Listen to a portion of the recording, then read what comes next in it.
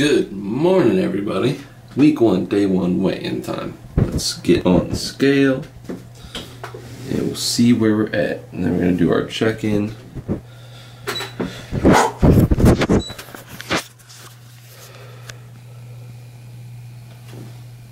So.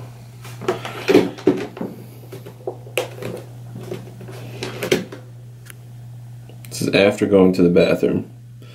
257.4. It's going to fluctuate throughout the day, but just keep it consistent. Go to the bathroom, do your thing, hop on the scale, get your starting number for the day. And we're going to check in in one second. What's up? Day one, week one, time for the check in. So it's going to be the first one getting something revealing, obviously. Um, just so you can see everything as far as your legs, your upper body. Um, here we go. So we'll do some relaxed and some flexed poses, basically, just so we can look back. So, front relaxed, front flexed,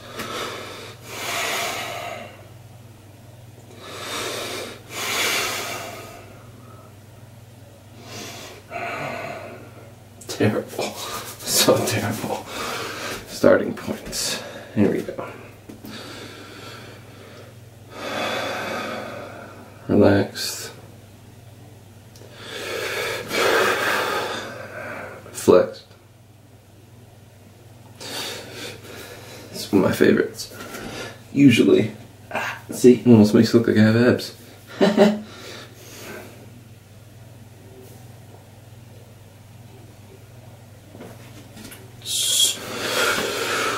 back. Relaxed.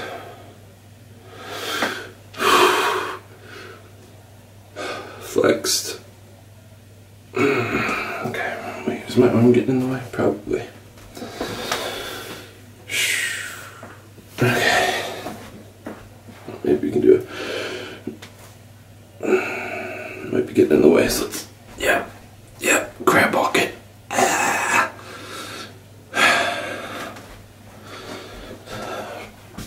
Right side. Relaxed. Flexed. And this is my bad side. So yeah. Flexed.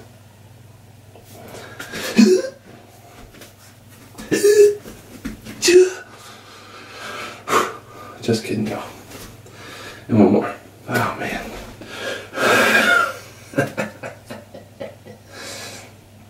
Just trying to get the camera in there. So bad. There's so much. There's like no muscle almost. It's hiding. So much fat in my arms alone. Alright, so. Did I forget anything? Nope. So this is going to be our starting point. Obviously, legs. That's one thing I want to bring up. I mean, eh. I haven't worked on them for over two weeks now. Don't hate on me for skipping leg day. As these bad boys, hip flexors were ridiculous. So ever since I started the D cycle, I don't think it's the D cycle, but they have been getting better. So I think just taking the time off and not doing more squats. Calves are decent, but they'll get a lot more shredded when we go along. You'll see some crazy veins in this guy right here. The right one is, oh yeah, this one's gonna be ridiculous when we start shutting down. But you'll see how everything changes over the next three to four months. This is where we're at.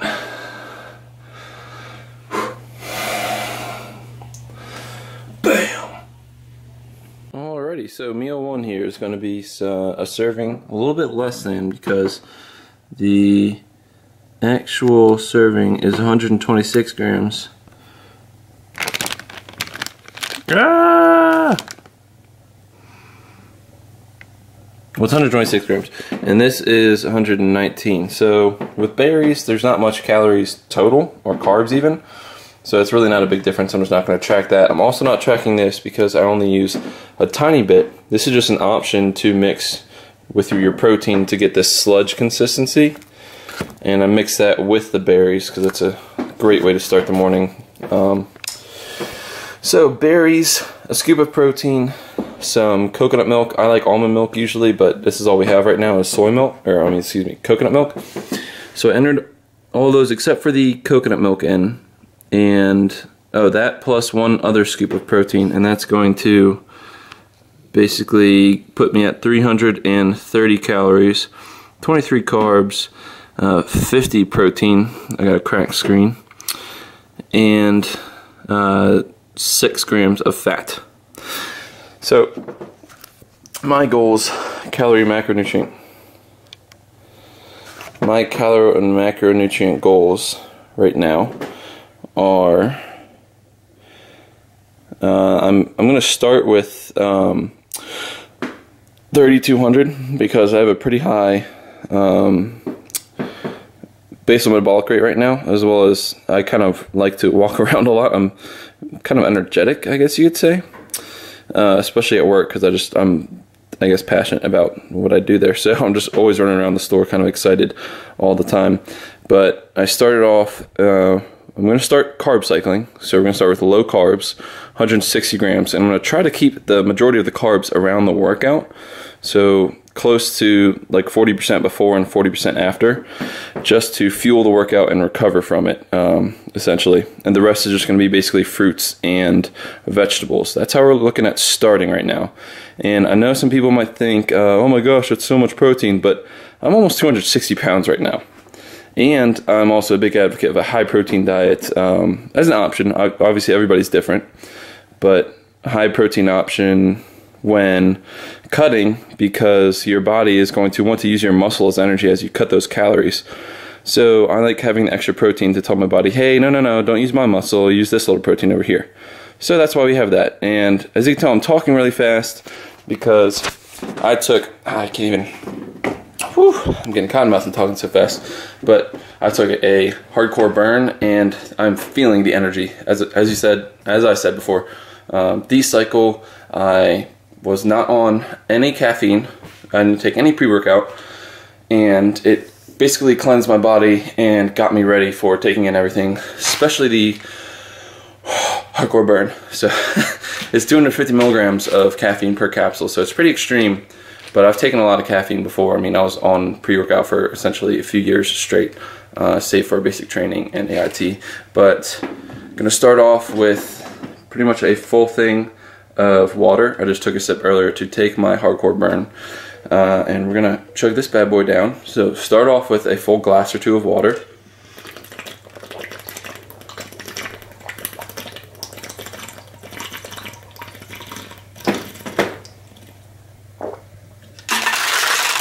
There it is. Best way to start your day, get your body hydrated.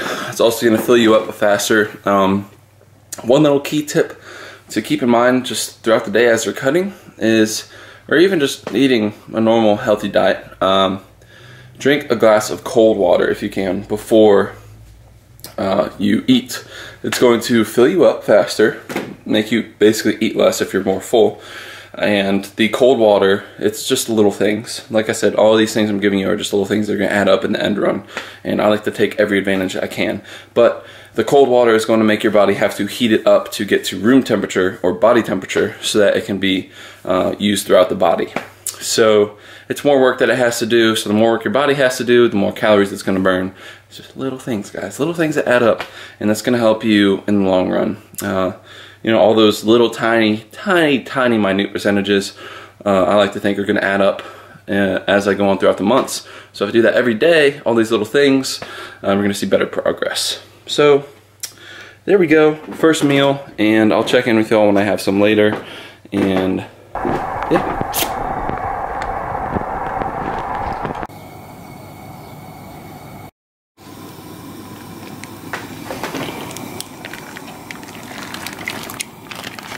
No kitchen, no problem.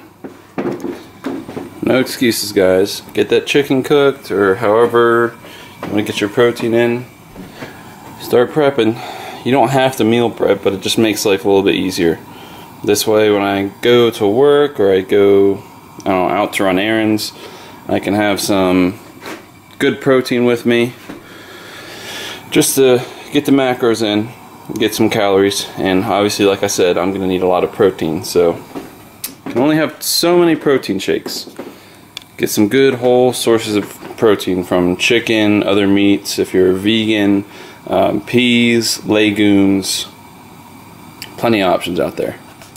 Get it done. One and a half servings of old-fashioned oats, it's Quaker, and two servings of Jif peanut butter. I prepared it not too long ago when I was getting the chicken ready, which is cooking again, and I only used one scoop, but I counted my macros in MyFitnessPal, and I need more fat, so I had to fit in an extra serving of uh, excuse me uh, peanut butter. So we're gonna get that here real quick, and I'll show you the best way to do it is to start. First of all, have two hands if you can. Um, zero it out with the tub on there, not with a spoon in it, and then fine from there. So it's 32 for serving. I did 33 earlier for one for the first one in here because the numbers don't matter that much. Try to be as exact as possible, but don't stress your life over it. I'm going to mix the rest of this in there. This guy is done. And the other thing in this meal is going to be a serving of protein and Walden Farms calorie-free pancake syrup. This is awesome. This mixed with the oats is a perfect combination right here. So you don't have to track how much this is unless you are worried about sodium.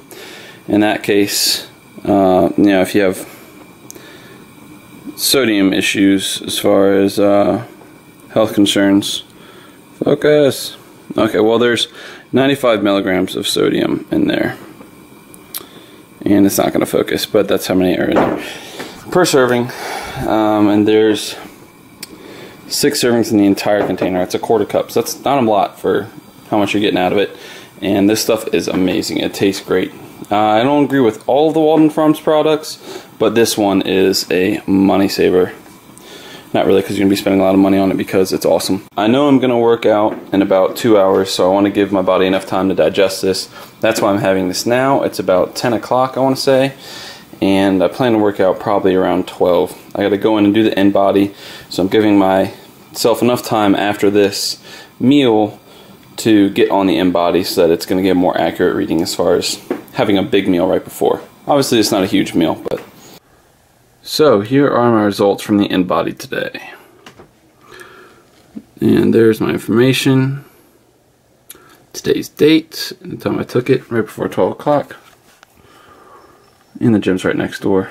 So, weight went down, water weight. Muscle mass apparently went down, and body fat went up. Now, this is what I expected because as I lose that water weight, it's really going to pull water from the muscles as well. So I believe the skeletal muscle mass takes into consideration the water included in the muscle mass. Because the dry lean mass up here is going to be just muscle without the water. And the total body water is above that. That's the total lean body mass is 223.6. Um, so that's water plus muscle plus muscle or plus water in muscle.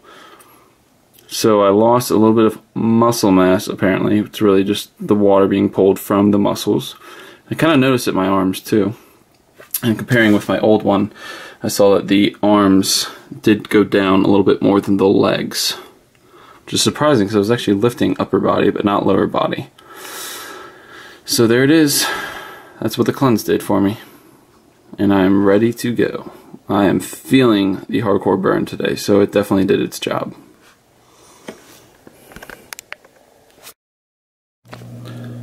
Alrighty, so it is the end of the night, almost. I'm just going to wrap up the video because I want to make a couple more videos, uh, get some stuff ready for my mom for tomorrow because it's her birthday. And I'm just going to go over my meals with you real quick, let you know how that went. So, MyFitnessPal. we got starting at the top. Breakfast was scoop of whey protein with those frozen mixed berries, another scoop of protein to sip on. Uh, second meal was the one and a half servings of oats with two servings of peanut butter and that Walden Farm syrup, which I didn't track because it's calorie free, and two or one scoop of protein with two half scoops of two different kinds. Just get some variety in there. It tastes a lot better. And then I had a scoop of weight gainer. Ha! Look at that. I'm using a, a mass gainer during a cut, uh, but I only did half a serving. And I added a half a scoop of protein to get a little bit more protein in there as well because it was only 30 grams. I wanted to get closer to 40.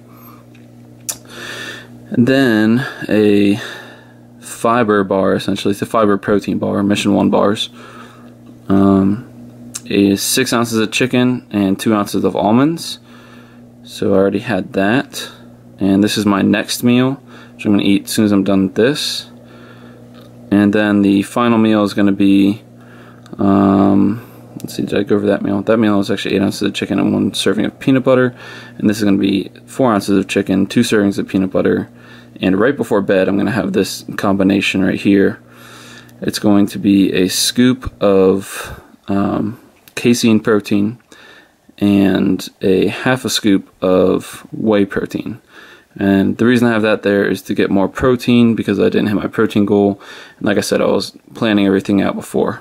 So totals for the day are 346 protein, 187 carbs, but 48 grams of fiber. So um, about, I'd like to say, um, whatever you have over the recommended daily allowance of 25, you can subtract from your carbs. I mean, don't make it a habit, but you know, since I hit 187, if I could hit 160 with the 48 fiber, that would be perfect. Uh, but sometimes it's really hard to hit that. Uh, so I'm still going to be under today, and that's what matters. And fat was 138, which is a little bit less than but protein was high. Um, yeah, so I mean, it's it's been a not too bad of a day. I mean, the hardcore burn definitely helped with appetite. I wasn't even hungry when I was eating because of the caffeine, and I'm not used to caffeine ever since taking the D cycle. So that's where I'm at. I just got a couple more meals to go, and I'll be up for probably about three more hours. Try to get to bed by 10, and this will be the last thing. So legs, I started off with squats. I was going to do 5 by 5 dropped it to 4 by 5 because my hip flexors were still hurting. So 4 by 5 of 275 squats. Lunges, walking lunges with a bar, with a 110 pound bar, uh, three sets of 12 reps. Uh, that was painful. That's where the pain really started kicking, like good sore muscle pain uh, not the bad kind. Leg extensions, uh, four sets of 8 to 12 reps. This is how I usually um, track all my workouts. I have a million workouts in here. I mean, there's just so many. Make sure there's nothing in here that shouldn't be in here. okay. So, that's how I'm going to track it. SSS Steve Summer Shred 1.1, so week one, day one, and it's legs. And after leg extensions was lying leg curls, four sets of 8 to 12 reps. I increased the weight, and that's when I track. it. um, one when I don't put anything after the number, it's just that the top number of reps, so 12 at 140, 145 pounds for 10 reps, 150 for 12, 160 for 10 calf press machine. It's this little seated, kind of upright seated, um, sitting like an L shape. And I go by the weight that's set to the numbers. So 4 by 8 to 12 of 308 according to the number. I think it was setting 8. I think it's a hoist machine is the brand. And then I just move the weight up. Essentially move the pin down once every set and uh, try to hit that 12 to or 8 to 12 range and as you can see I, it was too easy at first so I had 15 that's why I moved up And seated calf to finish off the calves. Hit the soleus as well. And that was 90 pounds uh, for 12 reps each time. It was a struggle for the last couple reps for most of the sets. Hanging knee ups, uh, just to get a little bit of ab work, and I'll put notes in here too. Uh, it's definitely a great idea to keep a journal of some kind. I put a little note here, not a great contraction on the hanging knee ups because I just wasn't feeling the abs, and that's why I'm not stressing too hard right now on ab training. Not because it's not important, but just when I'm at a heavier weight, I just don't feel a contraction as well. When I get down to a lower weight is when I actually feel it. So I'm, I'm not even going to be sore one bit. I'll be surprised if I was sore from those hanging knee ups tomorrow. And then I capped it off with 25 minutes of low intensity steady state, which is what LISS means, on the uh, bike. And also sometimes, just to for goal purposes, record how many calories I burned uh, just so next time I can shoot for you know 420 or 430 just something more than 417 calories um, just to kind of make sure I push the intensity. And that's gonna be it. This video is already so long so I want to end it now. And uh, we'll see you tomorrow